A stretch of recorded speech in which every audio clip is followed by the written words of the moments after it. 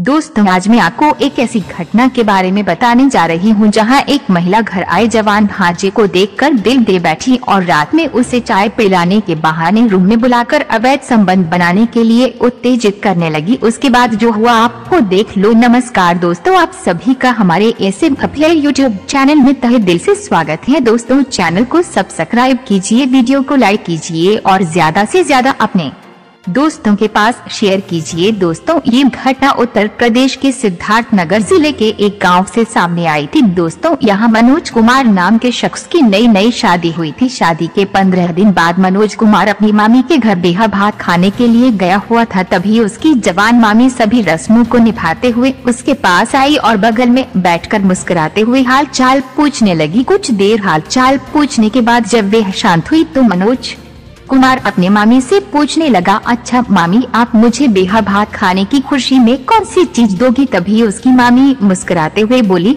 आपके मामा तो प्रदेश में है, फिर भी मैं अपनी तरफ़ से कोशिश करूँगी कि आपको एक ऐसी अनोखी चीज़ दूँ जिसे आप पूरी ज़िंदगी याद रख सको। ये शब्द सुनते ही मनोज कुमार आश्चर्य में पड़ गया और मन ही मन सोचने लगा कि ऐसी कौन सी चीज़ है जिसे मामी द्वारा दी गई मुझे पूरी ज़िंदगी भर याद रहेगी कुछ समय।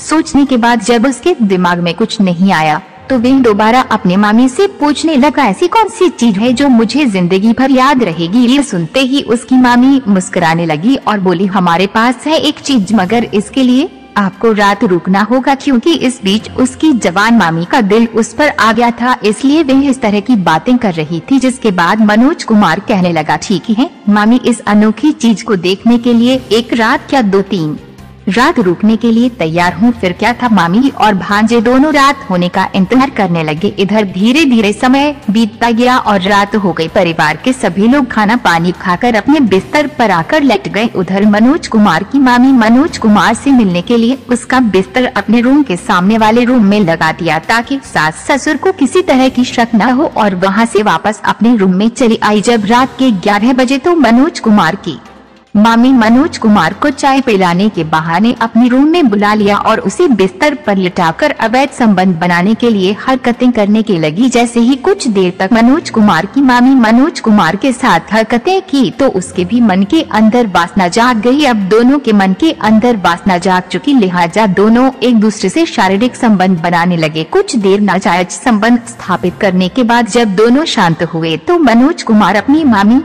से मुस्कुराते हुए बोला कि जो अनोखी चीज़ आपने मुझे दिखाने के लिए कहा था, अब तो उसे दिखा दो। ये सुनते ही उसकी मामी मुस्कुराते हुए कहने लगी, तुम बुद्धू के बुद्धू ही रह जाओगे। यही तो वो अनोखी चीज़ थी जिसे तुम जीवन में कभी नहीं भूल सकते हो, जिसके बाद मनोज कुमार कहने लगा, तुम सही कह रही हो मामी, जो आपने मुझे अभी बेहा भात खाने की खुशी में गिफ्ट दिया है, वाकई इसे हम पूरा जीवन नहीं भूल पाऊँगा। अब मनोज कुमार एक सप्ताह तक अपनी मामी के घर रुक गया और उसके साथ अवैध संबंध बनाने लगा। दोनों का ये सिलसिला लगातार ऐसे ही चल रहा था कि तभी एक रात मनोज कुमार के नाना ने मनोज कुमार को अपनी जवान बहू के साथ आपत्तिजनक हालत में पकड़ लिया, लेकिन समाज में बदनामी के डर से वे ज़्यादा कुछ नहीं बोले, जिसके बाद मनोज कुमार वहाँ से वापस अपने घर चला आया। तो देखा दोस्तों आपने आजकल समाज में इस तरह की घटनाएँ अक्सर घट रही है, इसलिए आप आपराधिक मानसिकता को समझें और सतर्क रहें।